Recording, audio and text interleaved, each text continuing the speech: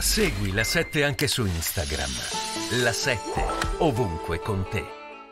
Londra lo dico sul serio, perché tanti elementi portano a comprendere che, che Emanuela è stata portata là. Io di quello- a l'ipotesi, Londra. l'ipotesi di cui sono convinto io, senza prove, però è la mia ipotesi in base a tante situazioni, che ci sia stato un ricatto, ma che sia un ricatto nato all'interno del Vaticano, tra due gruppi di persone. E il ricatto non poteva essere l'oggetto del ricatto soltanto Emanuela, una ragazzina di ci- cittadina vaticana, non poteva essere soltanto lei l'oggetto di un ricatto. Emanuela è stata, secondo me, messa in una situazione per creare l'oggetto di, di un ricatto molto più forte. Per questo l'altro giorno, quando abbiamo, l'altra volta abbiamo parlato della pedofilia e della pedofi- possibilità che persone molto in alto, ma dico veramente in alto, ai vertici del Vaticano possano aver commesso qualcosa e qualcuno ha utilizzato quella situazione per creare un ricatto enorme.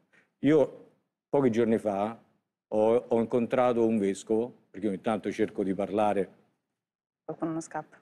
Perché eh? Dico qualcuno non scappa. No, ho incontrato per parlare di questa questione di Emanuele. A un certo punto il discorso è andato sulla pedofilia della Chiesa. Io ho raccontato il fatto che avevo raccontato qua dei quattro cardinali della gendarmeria che era andata con la foto di Emanuela da questi quattro cardinali che secondo loro avevano relazioni con ragazzine e ragazzine. Gli ho raccontato questo fatto, lui, sì, accidenti, veramente.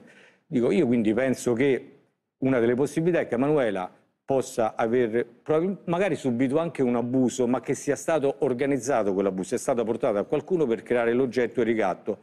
E siccome il Vaticano da 40 anni eh, fa di tutto per evitare che possa uscire la verità, certo, se normalmente nel 93 si parlava della pedofilia di, di cardinali come se fosse una cosa normale e accettata, uno può pensare che anche la pedofilia stia anche più su di quei cardinali.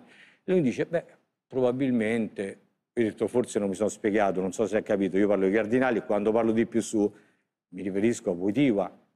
Probabile, ma io penso che non sia un ricatto, penso che se è successa quella cosa hanno fatto di tutto per silenziarla, Ci c'è qualcuno che ha contattato... vescovo? eh? Ci vuole dire il nome del No. vescovo con cui ha C'è parlato? qualcuno che ha contattato eh, magari qualcuno di questi criminali che conoscono e ha cercato di mettere a tacere questa situazione. Non me l'ha detto come...